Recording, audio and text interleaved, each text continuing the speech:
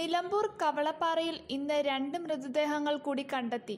രാവിലെ തുടങ്ങിയ തെരച്ചിലിന് പിന്നാലെ ആൺകുട്ടിയുടെ മൃതദേഹമാണ് ആദ്യം കണ്ടെത്തിയത്. എട്ട് വയസ്സുള്ള കിഷോറിന്റെ മൃതദേഹമാണ് ലഭിച്ചത്. പിന്നാലെ മറ്റൊരു മൃതദേഹം കൂടി ലഭിച്ചു. ഇതോടെ കവളപ്പാറ ദുരന്തത്തിൽ മരിച്ചവരുടെ എണ്ണം മുപ്പത്തഞ്ചായി. ഇനി ഇരുപത്തിനാല് പേരെയാണ് കണ്ടെത്താനുള്ളത്. ഇന്ന് രണ്ടാമത് കണ്ടെത്തിയ മൃതദേഹം തിരിച്ചറിയാൻ കഴിഞ്ഞിട്ടില്ല. ഇത് ഏഴാം ദിവസമാണ് കവളപ്പാറയിൽ തെരച്ചിൽ നടക്കുന്നത്. വ്യാഴാഴ്ചയും ഇന്നും തെളിഞ്ഞ കാലാവസ്ഥയായതിനാൽ ഊർജിത തെരച്ചിലാണ് നടക്കുന്നത്. കൂടുതൽ പേരെ കാണാതായതായി എന്ന് സംശയിക്കുന്ന മേഖലകളിലാണ് രാവിലെ തെരച്ചിൽ പുരോഗമിക്കുന്നത്.